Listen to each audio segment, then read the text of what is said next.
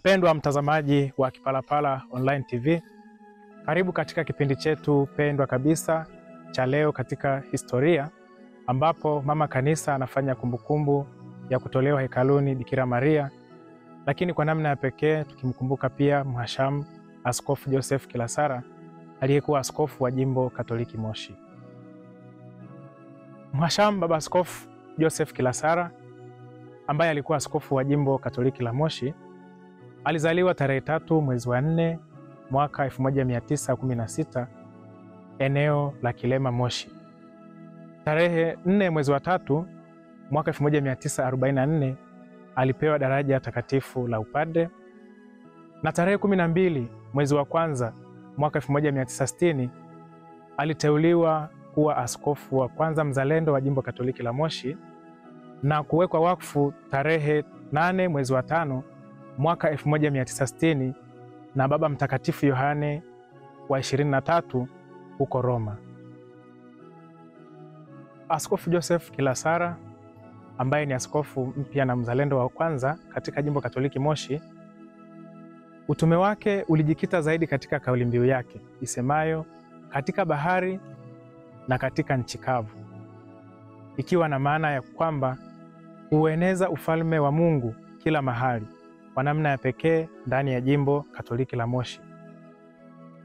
Na kwa namna hiyo basi alihamasisha sana maendeleo katika nyanja mbalimbali za elimu, na hapa katika sekta ya elimu atakumbukwa hasa kwa kuhamasisha ujenzi wa Kilimanjaro Boys Secondary School na Kibosho Girls, lakini pia alihamasisha maendeleo katika nyanja ya maisha ya kiroho kwa ujenzi wa makanisa mazuri ndani ya jimbo letu Katoliki la Moshi. Miongoni mwa makanisa hayo ni kanisa letu la Kristo Mfalme ambalo ni kanisa kuu la jimbo ambalo ni kanisa zuri sana na kila mmoja hulifurahia kila anaposali hapo ndani ya, ka, ya kanisa hilo. Lakini pia alichangia pia maendeleo na uhamasishaji katika sekta za afya kwa ujenzi wa vituo mbalimbali vya afya. Mhashamu Askofu Joseph Placidius Kilasara atakumbukwa kwa namna ya pekee kwa fadhila yake ya unyenyekevu. Alikuwa ni baba mnyenyekevu sana aliyependa kweli wito wake wa upadre, na hivyo ilikuwa ni tamanio lake kila mmoja aishi kwa kumwiga yeye. Alistaafu mwezi Novemba mwaka 1966 na tarehe 21 mwezi Novemba alif, mwaka 1978 alifariki dunia. Yeye kama padre alilitumikia kanisa kwa miaka 34 na miaka sita kama askofu. Mpendwa mtazamaji wa Kipalapala Online TV, leo kwa namna ya pekee tunapokumbuka kutolewa hekaluni mama yetu Bikira Maria, tumwombee pia Mhashamu Baba Askofu Joseph Kilasara pumziko la milele mbinguni.